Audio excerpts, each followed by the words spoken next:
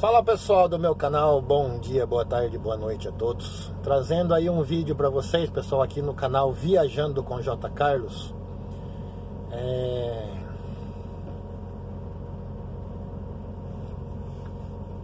Eu acabei de receber aqui no meu WhatsApp, né? Um acidente que ocorreu ali na BR 364. Ou é 364 ou é 365, agora não lembro direito, mas é ali na região de, do Triângulo Mineiro, entre Uberlândia e Monte Alegre de Minas.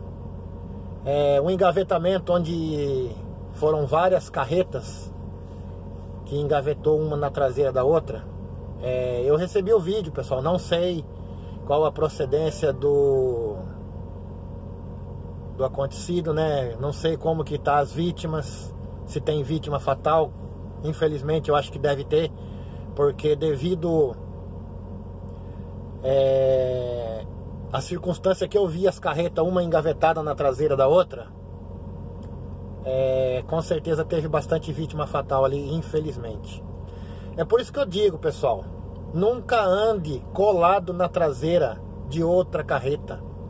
Tome uma distância de segurança, pessoal. Tome uma distância de segurança, certo? Use o cinto de segurança. Eu tô sem cinto porque eu tô parado, certo? Não tô andando, né?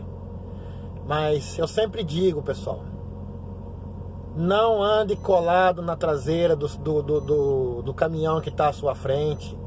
Tome uma distância, porque olha, ali, se tivesse tomado distância, não teria acontecido aquilo, aquele engavetamento. Daria para poder ter, como é que fala? Se salvar.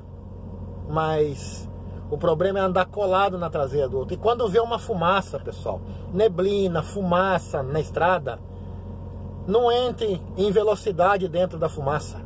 Não entre em velocidade. Diminui bastante a velocidade. Sinaliza, liga o pisca-alerta, sinaliza para entrar numa cortina de fumaça. Entre devagar, sinalizando já antes de entrar na cortina de fumaça. Porque é triste de ver um profissional do volante sair para trabalhar, ganhar seu pão e terminar do jeito que terminou, né? Esse acidente ali na região de Monte Alegre de Minas, pessoal. É, eu acho que é a BR 364 mesmo. É a BR 364 que liga Uberlândia ao trevão lá da BR 153, passando ali por Monte Alegre.